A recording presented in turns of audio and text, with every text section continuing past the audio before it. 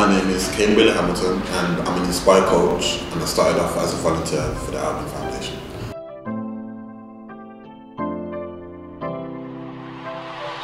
The impact that I'm making, or the impact I hope I'm making to these kids' lives, it's actually great because you kind of get those little feedbacks like, um, is Kane going to be in today or how comes Kane wasn't in? And I'm thinking, they're actually coming in looking for me. It's kind of, it's kind of inspiring to me. The thing is with Kane, he's always talking about how he wants to progress and how he wants to continue striving to be as good as he can.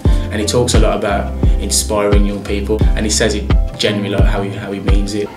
I think I have the drive to succeed um, because of my mum's condition, because um, she has MS. And if you look at someone that does have a disability or is unable, compared to someone who is able and can do everything that the other person can't, you kind of look at it both ways and think, well,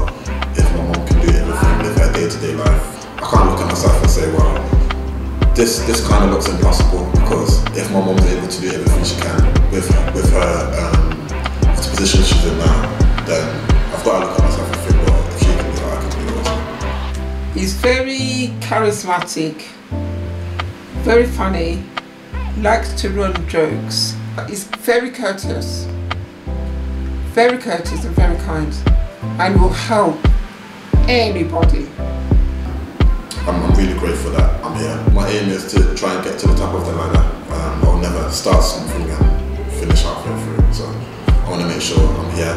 I've got to finish it now. So hopefully, hopefully I'll be at the top. I'm really pleased to call Kane a member of my team. He's very trustworthy, a very calm and caring guy. Um, he's got inter good interaction with the young people that he works with and um, I feel like he inspires them. Um, he's always going around at kicks basically chatting to them and it's like he puts smiles on their faces. Very proud, very proud.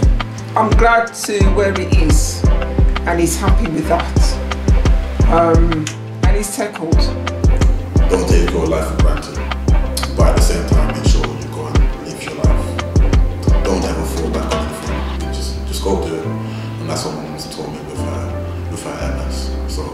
MS isn't a negative in our house. It's something that motivates me and it allows me to motivate others as well. And that's what MS has done. I'm glad he's doing what he's doing and where he's doing it. You can't ask for anything better. Three words. My life.